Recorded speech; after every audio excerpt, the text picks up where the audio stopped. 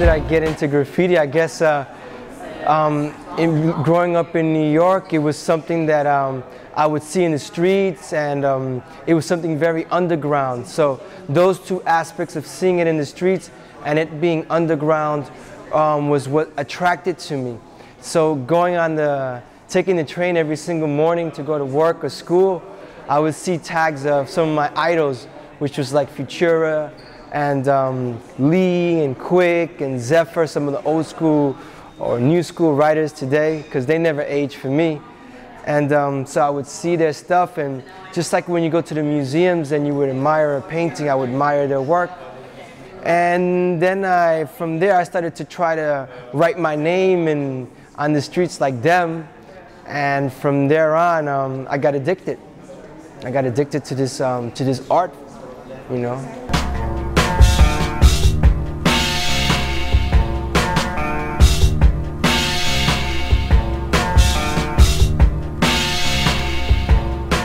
One Five Six was basically, uh, you know, growing up in the ghetto um, we didn't have very much um, ways to get out the ghetto. So we created our own identity and our own culture, our own way of communication, which is like being together and painting together and having fun together. And that's what 156 came out to be.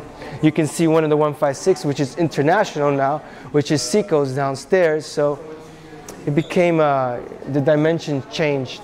My art was always evolving what it did was save me as a human being because uh, I had reached my potentials in New York and I needed a way out and Paris was the way out for me. So for me, it, yeah, it helped me grow as an artist, of course, Paris, because it's such an ins inspiring city with so much history.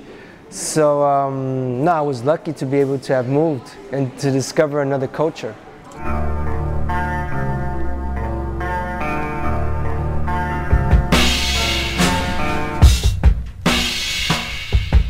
I mean, I had seen that uh, I wanted to conserve my work more in the sense of it not just being something I do in the streets and somebody comes one week later and paints over it or destroys it. That had grown into some sort of frustration for me, you know, seeing my work um, painted over. So the, the idea of painting on canvas and it being able to, to sh show it in um, galleries attracted me. And that, but you know, sometimes you need the style to do it. So what I was basically doing, um, like you see right here on the wall, is kind of the same thing I'm doing on canvas. So it wasn't a big transition for me to paint on canvas, whereas some other artists had more difficulties because they were doing things that were either too graphic or too illustrative, and I was doing something that was more expressive, and, and um, I was trying to express myself, and I think those are some of the things that um, um, are necessary in order for you to evolve into an artist is to express yourself rather than express um, uh, a general sort of like art form, you know. I was doing something more personal.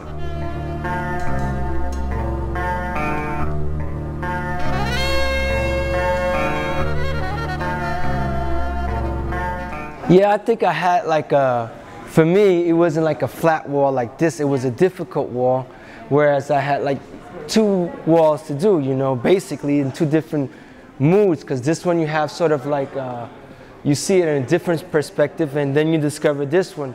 So um, I wanted to do something that, um, that uh, you can see two different styles, and it's not a continuation of one sort of wall. So the best exercise for me, because I've seen it as an exercise, was to do something in black and white where I show um, one part of aspect of my work and then go into something that's very colorful.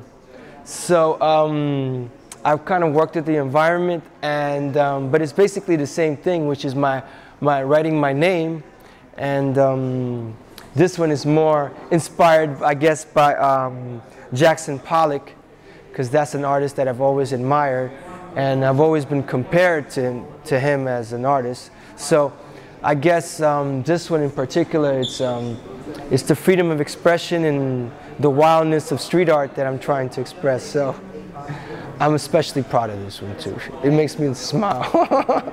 Even though the color one is, makes me smile, but this one is a funny one for me. I hope people understand it.